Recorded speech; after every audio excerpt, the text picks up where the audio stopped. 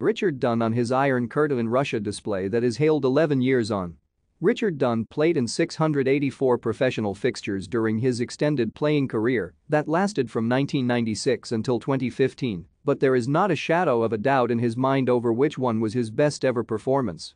Back in September of 2011, the Republic of Ireland stalwart lined up alongside Darren O'Dea in front of an inspired Shay Given in a Euro 2012 qualification clash against Russia in Moscow and had to put in the performance of a lifetime to take home even a point with the visitors failing to create a single chance. Dunne pulled off a ridiculous goal line clearance after half, an hour and numerous blocks and tackles followed in what Paul McGrath described as the, the best performance ever from an Irish central defender including his own against Italy at the 1994 World Cup. He tweeted at the time, Richard Dunne congratulations. The best performance I have seen from any Irish centre-half and that includes myself.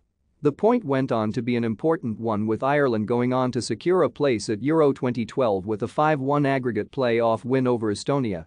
Speaking to Daily Star Sport in his role as a BET 365 ambassador 11 years later, Dunne says, that was the best match I played in my career. Who put in the best individual performance you can remember? Give us your thoughts in the comments section.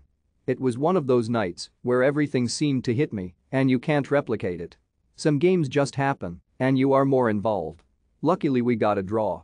The reaction after was really nice and I really enjoyed it, people still talk about it today. But it could have been Darren O'Dea who was playing beside me, it could have all been coming down his side, you just don't know. At club level, the imposing defender made 431 appearances in Premier League across spells with Everton, Manchester City, Aston Villa and QPR, at the same time racking up 80 appearances for his country. Dunne called time on his career following two seasons in West London from 2013 to 2015, later moving with his wife and two children to Monte Carlo, where they reside to this day.